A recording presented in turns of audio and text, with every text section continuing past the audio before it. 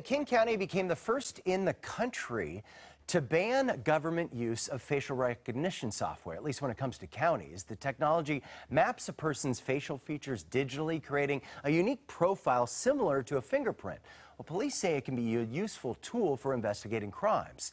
But there have been privacy concerns, and the county has also cited studies that find the software often misidentifies black or Asian faces county says the ban also applies to the King County Sheriff's Office except when used to identify missing children.